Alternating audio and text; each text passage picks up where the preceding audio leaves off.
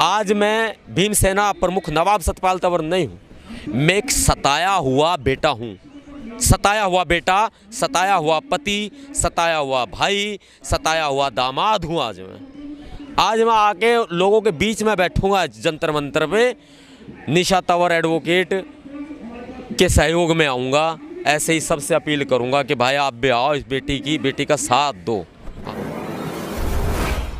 वहाँ पर मुकेश जाटव और गौरव जाटव को बड़ी बेरहमी से ऐसा किया कि वो इस दुनिया में हमारे बीच नहीं है अब। ठीक ऐसे ही अलीगढ़ में एक मुस्लिम साथी औरंगज़ेब, गौरव जाटव भी, मुकेश जाटव भी और औरंगज़ेब भी, ये सब भीमसेना के मेंबर थे, ऑन रिकॉर्ड मेंबर थे, सदस्य थे भीमसेना के। हाँ ये बात किसी को नहीं मालूम है। और इसके अलावा आकाश जाटव, वो भी भीमसेना के मेंबर थे, फिरोजाबाद में। आकाश जाटव पुलिस हिरासत के दौरान जब वो न्यायिक हिरासत में थे उनको जेल में ही पीट पीट कर थाने में? जेल के अंदर। वो आज इस दुनिया में नहीं है मैं बता नहीं सकता। मैं अलीगढ़ जाने की मैंने भरसक प्रयास किए। अलीगढ़ पुलिस ने मुझे आगे नहीं बढ़ने दिया बल्कि उससे पहले जिलों की पुलिस ने मुझे घेर करके जबरन गिरफ़्तार करने की कोशिश की। अब मैं फिरोजाबाद जा रहा था भाई आकाश जाटव के घर नगला पचिया में। तो इन्होंने आगरा में ही मुझे घेर लिया और मुझे मजबूरन वापस लौटना लौटना पड़ा। बहुत से लोगों ने वहाँ पर मेरा मनुवादी टाइप के जो लोग थे, उन्होंने कहा कि डर के भाग गया। भाग क्यों रहा है? भाग मिल्खा भाग, इस इस तरह के शब्द मुझसे बोले गए। और मैं फिर भी ये सोच के वापस लौटा हूँ कि मेरे बाद मेरे समाज का क्या होगा?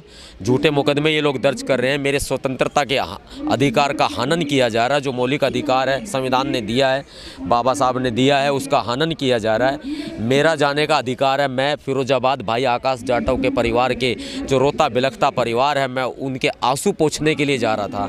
इन्होंने आगरा में ही मुझे घेर कर मुझे बंदी बनाने की कोशिश की और मैं वहाँ से जब जाकर के लौट के मैं वापस पहुँचा हूँ और ये सोच रहा हूँ कि जब शेर अगर चार कदम पीछे बढ़ाता है तो शायद एक लंबी छलांग लगाता है। मैं योगी सरकार के खिलाफ पूरे देश भर का आह्वान करता हूँ कि योगी आदित्यनाथ सरकार गलत कर रही है, झूठे मुकदमे दर्ज कर रही है। मुझे अपनी चिंता नहीं है, अपनी फ़िक्र नहीं है। मैं लोगों के दिलों में अपने ज़िंदा रहूँगा अगर मुझे कुछ हो भी गया तो।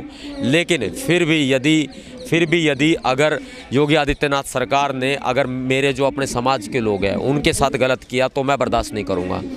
यहाँ मैं उत्तर प्रदेश के हरदोई में गया, वहाँ पर इन्होंने जबरन मुझे घेरा, पकड़ लिया, भीम सैनिक मुझे छुड़ा ले गए। अब उसके बाद इन्होंने कहीं जाकर मेरे खिलाफ मुकद- मुकदमा दर्ज इन्होंने किया। मैं रामपुर में के गया, रामपुर में S O G S T F लगा के मुझे पकड़ लिया गया, अंदर टॉर्चर किया गया, मुझे और मेरे लोगों को। मैं चांदपुर गया, वहाँ बाबा साहब की प्रतिमा को जबरन हटा दिया गया। तो वहाँ पर मतलब ये लोग मुझे नहीं रोक रोक पा रहे। इन्होंने मेरे पीछे गुंडे लगा दिए। इन्होंने मेरे पीछे तानाशाह पुलिस लगा दी। इन्होंने मेरे पीछे तानाशाह सरकार लगा दी। अब जब इनका बस नहीं चला तो इन्होंने मेरे परिवार को निशाना बनाना शुरू कर दिया। इन्होंने मेरी पत्नी जो मेरे साथ कंधे से कंधा मिलाकर खड़ी होती है, तमाम जेलों से बाहर निकाल लाई मुझे अपने बलबूते। वो मेरे ऊपर जब हमले हुए, तब उन्होंने मेरे साथ वो खड़ी रही, मेरी हिम्मत बांधती रही। जब हर तरह से मैं मुश्किलों में घिरा, उन्होंने मेरा साथ दिया, आज उनके पिताजी को पकड़ के झूठा केस लगाकर बुज़ुर्ग, बेकसूर पिताजी को और एक अन्य दलित युवक सचिन राज को इन्होंने बिजनौर की जेल में डाल दिया है। माननीय माननीय Supreme Court of Indian authority the Arnesh Kumar versus state of Bihar. इसमें साफ़ का सात साल से कम उम्र, कम साल की सज़ा में आप किसी को जेल में नहीं रख सकते। वहाँ की जो चांदपुर जूनियर डिवीज़न सिविल जज होती है, वो खुलेआम रिश्वत मांगती है। ये कहती है, पच्चीस हज़ार रुपये लाओ, मैं अभी जमानत दूँगी। एक तो आप माननीय सुप्रीम कोर्ट के आदेश की अवहेलना कर रहे हैं, अवमानना कर रहे हैं। उनको जेल में जबरन रखा हुआ है, वो शुगर के मरीज़ हैं। वो हार्ट पेशेंट है, दो बार उनको हार्ट अटैक आ चुका है। उनके किडनी का ऑपरेशन तीस, ये आने वाली 30 जून को डॉक्टर ने लिखा हुआ किडनी का ऑपरेशन और जो झूठा मुकदमा दर्ज करके उनको जेल में डाला गया, उस दौरान वो अस्पताल में भर्ती थे। सहारनपुर के देवबंद में हमारे पास पेपर है, हमारे पास रिकॉर्ड है, हॉस्पिटल का रिकॉर्ड है। जब सहारनपुर सहारनपुर के हॉस्पिटल में वो भर्ती थे और पुलिस कहती है आठ तारीख को घटना की है तो आप एक बात बताइए, आप वो आठ तारीख को जब वो चांदपुर में थे ही नहीं तो घटना कैसे हो गई? बाबा साहब की प्रतिमा को जबरन हटाया गया, मैं उनका दामाद हूँ, इसलिए मेरे ससुर जी को इन्होंने पकड़ के जेल में डाल दिया। उत्तर प्रदेश की पुलिस, योगी आदित्यनाथ जी के कहने पर मेरे ससुर जी को मरवा देना चाहते हैं। मुझे गिरफ़्तार करके जेल में डलवा कर मुझे मरवा देना चाहते हैं। गुंडों के हाथों से मरवा देना चाहते हैं। हम बेहद इनसे परेशान हो चुके हैं लेकिन हारे फिर भी नहीं हैं। सतपाल भाई एक बात मुझे समझाने की कोशिश आप कीजिए। चाहे अ, अ, क्या नाम था उसका? गायिका का? आकाश जाट नहीं वो गायिका का नाम क्या था?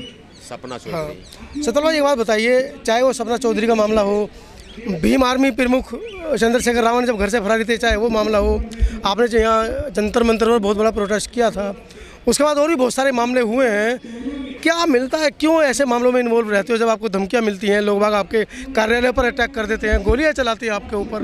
अब तो आपके ससुर साहब को भी उठा के ले गए। जब बाबा साहब अंबेडकर के चार बच्चे इस समाज पर, मिशन पर कुर्बान हो गए तो मैंने भी ये सोच लिया है कि जो समाज के बच्चे हैं ना, वो मेरे बच्चे हैं। समाज के बुज़ुर्ग मेरे माता पिता हैं, समाज की माएँ मेरी माँ हैं, मेरी बहनें हैं, मेरे भाई हैं, युवा बंधु हैं, आप जैसे साथी हैं। तो मैं ये समझता हूँ कि अगर इस रास्ते पर चलते हुए अगर शहीद भी हो गए ना तो मुझे कोई गुरेज नहीं होगा, क्योंकि मुझे मेरी माँ ने शहीद होने के लिए जन्म दिया है या इस समाज को हुक्मरान बनाने के लिए जन्म ये वही समाज है, डॉक्टर अंबेडकर को जिताया नहीं, इस समाज ने दिल्ली के अंदर जब वो सभा करने आए थे तो उनके ऊपर पथराव किया था। देखो समाज समाज नहीं करता कभी भी ऐसा। समाज में कुछ लोगों को घुसा दिया जाता है। आरएसएस और बीजेपी के द्वारा अपने एजेंट बनाकर पैसों का रुपयों का लड़की का लालच देकर और तमाम तरह के लालच देकर घुसा दिया जाता है। वो समाज नहीं हो सकता। वे लोग बस कुछ समय के लिए गुमराह हुए लोग हैं। तो लड़ाई जारी रखोगे? लड़ाई तो जारी रहेगी सर। लड़ाई जारी रहेगी। अब अब योगी हटाओ यूपी बचाओ। उसके लिए तो फिर राजनीतिक आपको चर्चा करनी पड़ेगी राजनीति माना पड़ेगा और कहीं ना कहीं अपनी पार्टी भी बनानी सर राजनीति बाद की बात है।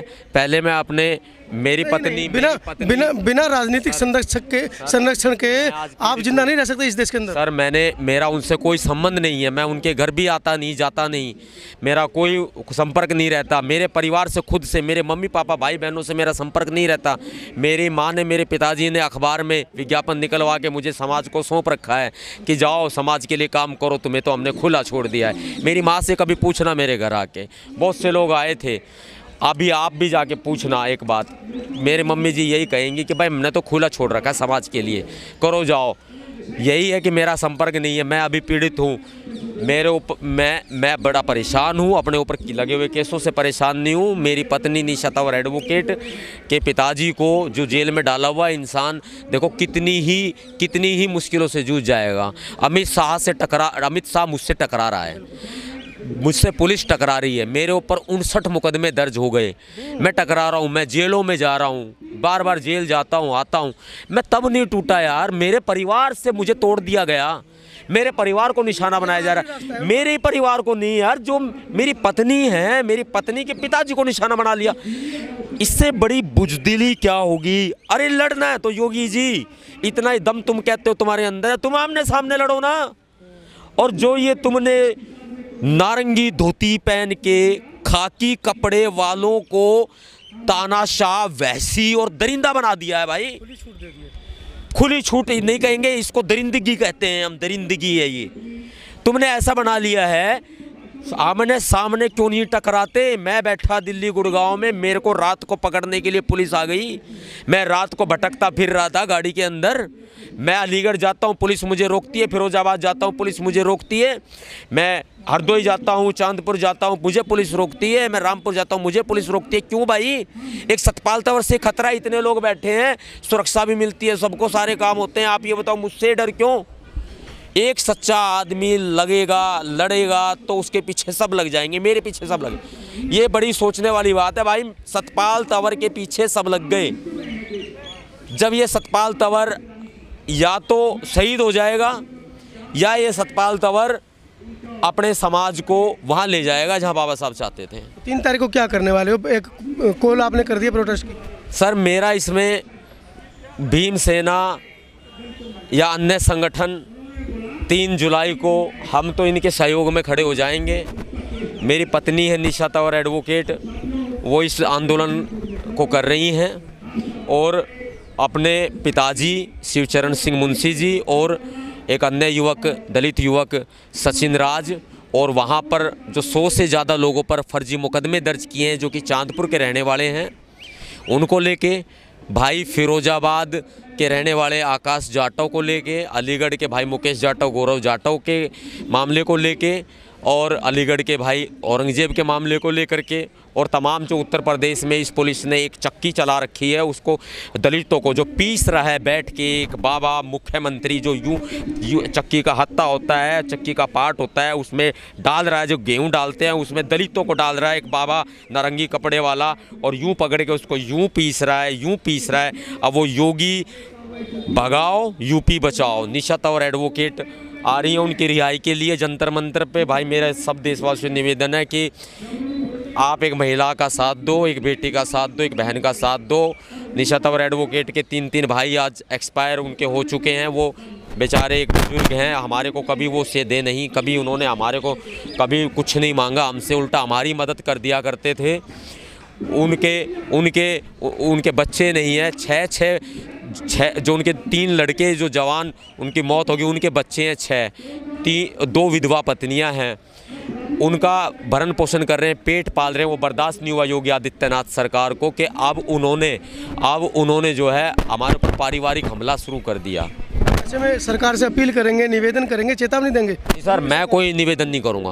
मैं कोई निवेदन नहीं करूँगा। सरकार निवेदन नहीं मान रही बाबा साहब ने कहा था, न्याय मांगने से नहीं मिलता, अधिकार मांगने से नहीं मिलते, उनको छीन लो। अब ये छीनने के लिए तीन जुलाई को निशा तवर एडवोकेट या जंतर मंतर पे आएगी। हम तो उनके सहयोग में, जितना सहयोग हमसे बन पड़ेगा। आज मैं भीमसेना प्रमुख नवाब सतपाल तंवर नहीं हूँ। मैं एक सताया हुआ बेटा हूँ। सताया हुआ बेटा, सताया हुआ पति, सताया हुआ भाई, सताया हुआ दामाद हूँ आज मैं। आज मैं आके लोगों के बीच में बैठूँगा जंतर मंतर पे। निशा तंवर एडवोकेट के सहयोग में आऊँगा। ऐसे ही सबसे अपील करूँगा कि भाई आप भी आओ इस बेटी की, बेटी का साथ दो आके। तो भाई नवाब सतपाल तंवर, किसी परिचय के मोहताज नहीं, भीमसेना के चीफ, राष्ट्रीय अध्यक्ष अपील की है तीन जुलाई के लिए, तीन जुलाई सुबह ग्यारह बजे जंतर मंतर। देखते हैं आप कितने लोग जो समाज की रीढ़ की हड्डी हैं, वो इस आंदोलन में बढ़ चढ़ कर अपना सहभागिता इसमें दर्ज कराएँगे। तो मिलते हैं तीन तारीख को, जुलाई में सुबह दस बजे, जैसा कि सतपाल तंवर ने भी आह्वान किया है कि सभी सामाजिक संगठन इसमें अपने बैनर पोस्टर के साथ पहुँचे। धन्यवाद धन्यवाद।